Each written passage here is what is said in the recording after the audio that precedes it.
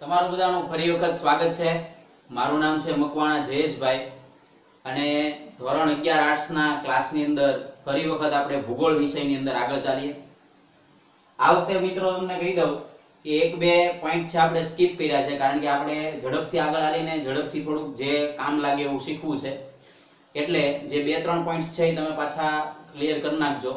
અને આપણે આ જે એક નવા ટોપિકથી આગળ ચાલશું, કારણ કે ઝડપથી આપણે જમીન નિર્માણ, પૃથ્વીના ઉદ્ભવ અને ઉત્ક્રાંતિ, જમીન નિર્માણની પ્રક્રિયાને ભૂપુષ્ઠ વિશે માહિતી મેળવવાના છીએ આગળના ટોપિકમાં તો આજે આપણે જે મહત્વનો ટોપિક લઈને આવ્યા છીએ, એ જે પહેલા ટોપિક શરૂ હતો, એ જ ટોપિકના અંતર્ગત એ આપણે આગળ ચાલશું. તો પૃથ્વીના ઉદ્ભવના આધુનિક સિદ્ધાંતોની અંદર આપણે વાત કરવી તો આધુનિક સિદ્ધાંતો બહુ મહત્વના સાબિત થાય અને વ્યવસ્થિત રીતે આપણે એનો અભ્યાસ કરવાનો છે. તો આપણો ટોપિક છે પૃથ્વીના ઉદ્ભવના. પૃથ્વીના ઉદ્ભવના. આધુનિક સિદ્ધાંતો.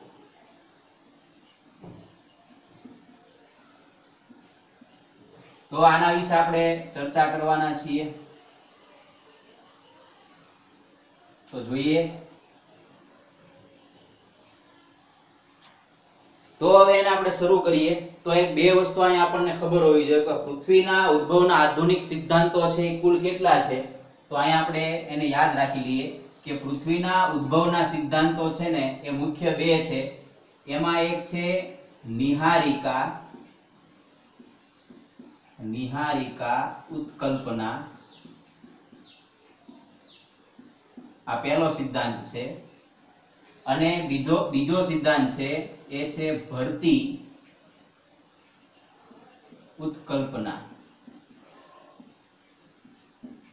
તો આ એક પ્રશ્ન થઈ ગયો કે પૃથ્વીના ઉદ્ભવના આધુનિક સિદ્ધાંતો કુલ કેટલા છે? બે. પરીક્ષાની અંદર આપણે નવા સિદ્ધાંતો લાવવાની જરૂર નથી. ઘણા નવા નવા સિદ્ધાંત આવી જાય. અમે પેપર જોતા હોય ત્યારે. તો નવા સિદ્ધાંતની આપણે આ બે સિદ્ધાંતો વિશે ચર્ચા કરવાની. એમાં આપણે જે અત્યારે ભણવાના છીએ, જે મહત્વનો ટોપિક એ છે નિહારિકા ઉત્કલ્પના. તમારું કામ એટલું જ છે, તમારે ખાલી ધ્યાન દઈને સાંભળવાનું છે ને જોવાનું છે, આટલું કામ અને એને યાદ રાખવાનું છે. બરોબર? જે કાંઈ પ્રશ્ન થાય કોમેન્ટ બોક્સમાં તમે મને જણાવી શકો છો. ચાલ. તો હવે એને આપણે થોડા વિસ્તારથી સમજીએ. નિહારિકા ઉત્કલ્પના જે પૃથ્વીના ઉદ્ભવના આધુનિક સિદ્ધાંતો. જો મિત્રો આ ભવિષ્યમાં ખૂબ જ કામ લાગે એવો ટોપિક છે. ચાલો એને આપણે સમજવાનો પ્રયત્ન કરીએ.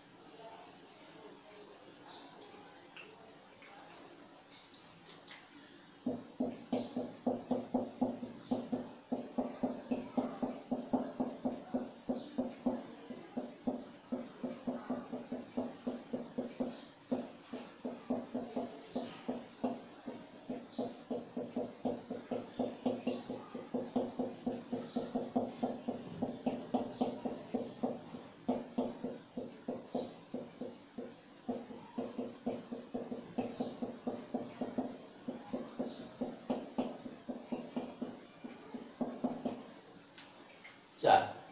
તો નિહારિકા ઉત્કલ્પના જે છે આપણે સમજવાની છે. તો હવે બે ત્રણ પોઈન્ટ જે છે એના ખાસ યાદ રાખવા જેવા છે. તો આને સમજતા પહેલા બે ત્રણ પોઈન્ટ હું અહીં નોંધું છું. એ ખાસ યાદ રાખજો. તો નિહારિકા ઉત્કલ્પના જે છે, એની વાત કરીએ તો જર્મન તત્વજ્ઞ. જો આ પહેલી યાદ રાખજો.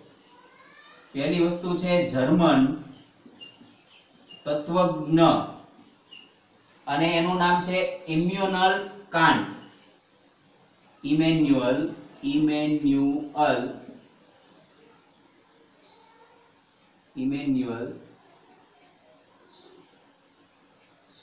Immanuel Kant તો આને આપણે ટૂંકમાં કાન્ટ તરીકે પણ ઓળખશું. એણે સત્તરસો ને પંચાવન. તો આજે જર્મન તત્વજ્ઞ હતા ઇમેન્યુઅલ કાન્ટ. સત્તરસો ને પંચાવનમાં નિહારિકા ઉત્કલ્પના રજૂ કરી હતી. તો આ પહેલી વસ્તુ યાદ રાખજો કે જર્મન તત્વજ્ઞ ઇમેન્યુઅલ કાંટે સત્તરસો ને પંચાવનની અંદર નિહારિકા ઉત્કલ્પના રજૂ કરી હતી. તેણે એક મત આપ્યો. એટલે કે એણે એક એક બાબત આપણને જણાવી. એ કેવી બાબત હતી? તો એને આપણે જોઈએ. તો એના મત અનુસાર અબજો વર્ષો પહેલા. જો, આપણે એને ટૂંકમાં અહીંયા જોતા જઈએ કે એનો મત શું હતો? તો કે ભાઈ, અબજો વર્ષ પહેલા. આ પહેલો ટોપિક યાદ રાખજો. અબજો વર્ષ પહેલા. તો અબજો વર્ષ પહેલા જે છે, અવકાશમાં ઠંડુ અને ગતિહીન વાયુ વાદળ અસ્તિત્વ ધરાવતું હતું. જો, અબજો વર્ષ પહેલા ઠંડુ. અને ગતિહીન વાયુવય વાદળ અસ્તિત્વ ધરાવતું હતું. તો આ પહેલી બાબત યાદ રાખો. તો યાદ રાખવાનું કે જર્મન તત્વજ્ઞ કાન્ટે 1755 માં નિહારિકા ઉત્કલ્પના રજૂ કરી.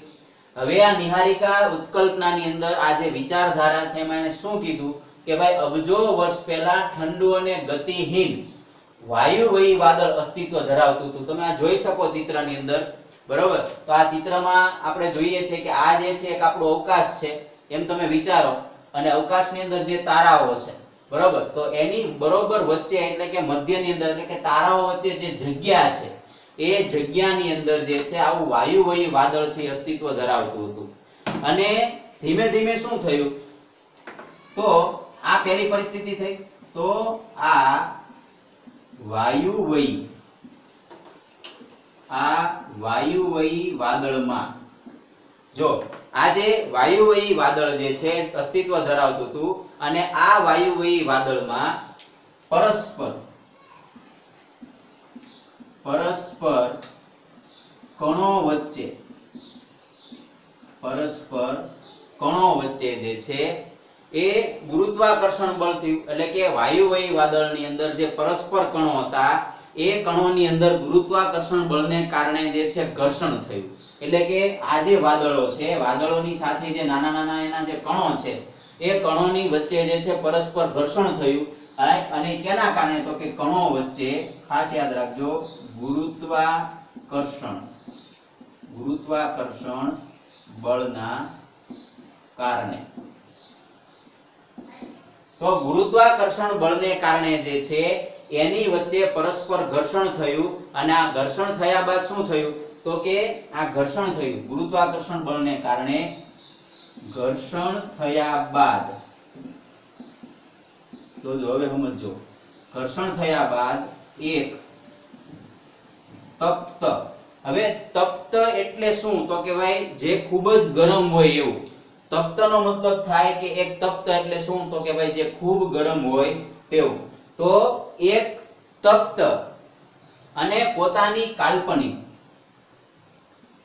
અને પોતાની કાલ્પનિક તપ્ત અને પોતાની કાલ્પનિક ધરી પર ફરતી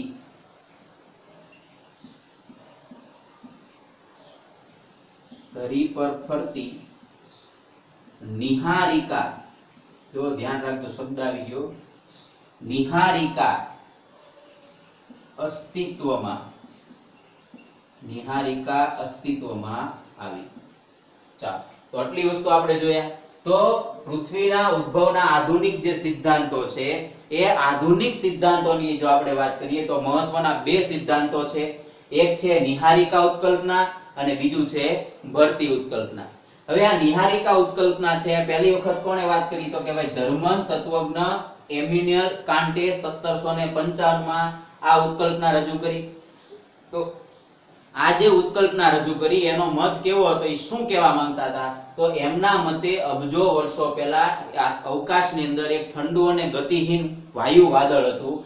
એક વાયુ વાદળ અસ્તિત્વ ધરાવતું હતું.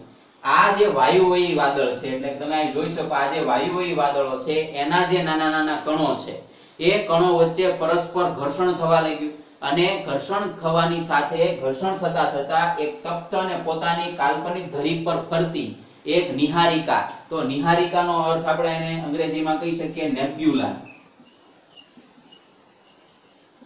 નિહારિકાને આપણે અંગ્રેજીમાં શું કહી શકીએ? તો કે નેબ્યુલા જે છે, એ નેબ્યુલાની અસ્તિત્વમાં આવે એટલે કે રૂપાંતર પામી. હવે આ નિહારિકા કે નેબ્યુલા કોને કહેવાય? તો એનો ફોટો પણ હું વિડીયોની અંદર તમને બતાવું છું. એ પછી જોઈ લેજો. હવે આ જે નેબ્યુલા છે, એટલે કે નિહારિકા છે, ઈ કોને કહેવાય? તો હવે જો સમજો અહીંયા. તો અંતરિક્ષમાં જે તારા સમૂહો હોય, આ માની લો કે આ અંતરિક્ષ છે, એની અંદરનો જે તારા સમૂહ છે, એ તારા સમૂહની અંદર વચ્ચે જે શ્વેત શ્યામ, જો આ જે તારા સમૂહ છે, એની અંદર શ્વેત એટલે કે સફેદ અને કાળા. સફેદ, કાળા એમ તો ઘણા બધા રંગો જે છે આપણને જોવા મળે. તો અવકાશ, અવકાશની અંદર જે તારાઓનો સમૂહ છે, તારાઓની બરોબર વચ્ચે અને મધ્યની અંદર, વચ્ચેના ભાગમાં સફેદ અને કાળા રંગના જે વાદળો આવેલા છે, જે શ્યામ કે જે વાદળો દેખાય છે, એને આપણી ભાષામાં શું કહીએ છીએ નિહારિકા કે નેબ્યુલા તરીકે છે આપણે એને ઓળખીએ છીએ. બરોબર? તો આ એનો અર્થ થઈ ગયો. તો આટલી વસ્તુ પહેલા યાદ રાખવાની હવે આજે આટલી પરિસ્થિતિ આપણી સમક્ષ નિર્માણ પામી. હવે શું થયું? તો કે આજે કાંટની જે વિચારધારા હતી, એ કાંટની વિચારધારામાં લાપસા નામના એક ગણિત શાસ્ત્રીએ સુધારો કર્યો. લાપસા નામના એક ગણિત શાસ્ત્રીએ શું કર્યો? સુધારો કર્યો. અને જે કાંટે આપેલી જે થિયરી હતી, એની અંદર એણે એવું કીધું કે અબજો વર્ષો પહેલા ગતિહીન વાયુ એ વાદળ હતું. જ્યારે લાપસા નામના જે ગણિત શાસ્ત્રી હતા, જો હું નામ લખું છું, કે ભાઈ એણે સુધારો કર્યો. કોણે, તો યાદ રાખજો, લાપસા. લાપસા નામના જે ગણિત શાસ્ત્રી છે, એને સુધારો કરીને નોંધ્યું કે આવું કોઈ ખરેખર વાદળ હતું જ નહીં. એને એવી બાબત કરી કે ભાઈ, આ જે નિહારિકા જે જે તપ્ત નિહારિકા છે, એ શરૂઆતથી તે ખૂબ જ ગતિહીન હતી. અને એને આ તપ્ત નિહારિકા જે છે, પોતાની ધરી પર ફરતી હતી, એવી કલ્પના છે, એ રજૂ કરી. હવે શું થયું? તો કે, સમજો કે આ જે એક આપણે નિહારિકા લઈ લઈએ.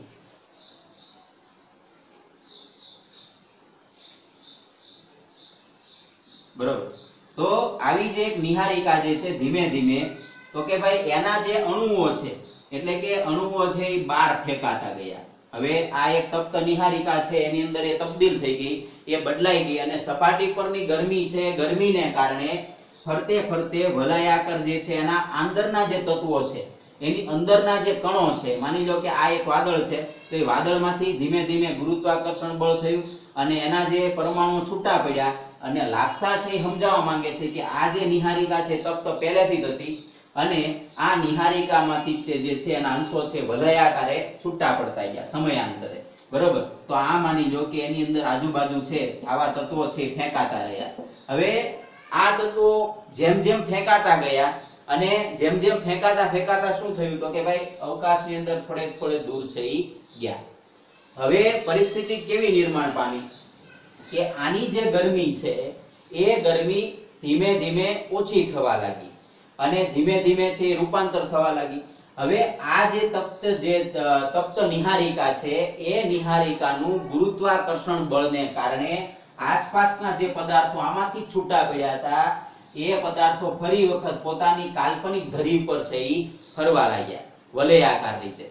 બરોબર? અને આ ફરવા લાગ્યા અને ધીમે ધીમે શું થયું તો કે ભાઈ અબજો વર્ષોની પ્રક્રિયાને પરિણામ સ્વરૂપ, અબજો વર્ષોની જે પ્રક્રિયા આલી, એ પ્રક્રિયાના પરિણામ સ્વરૂપ એમાંથી ધીમે ધીમે ઘન ગોળો, એટલે કે આ જે ભાગો છે જે છૂટા પડ્યા એ ધીમે ધીમે ફરવા લાગ્યા અને ધીમે ધીમે એની અંદર રૂપાંતર થવા લાગ્યું. એટલે કે નિહારિકાની આસપાસ તો ફરતા હતા પણ એકત્રીકરણ થયું. એટલે કે જો આ રીતે થયું છે આ જે પદાર્થો છે એ ભેગા થતા ગયા, એકબીજાની નજીક આવતા ગયા અને નજીક આવતાની સાથે સાથે ધીમે ધીમે ધીમે જે છે એનું સંયોજન થતું ગયું અને એકત્રીકરણ થતું ગયું. આ સંયોજન અને એકત્રીકરણને કારણે જે છે એ ઘન ગોળા સ્વરૂપે અસ્તિત્વમાં આવ્યા અને ધીમે ધીમે જે છે એ અસ્તિત્વમાં આવીને ગ્રહો તરીકે નિર્માણ પામ્યા.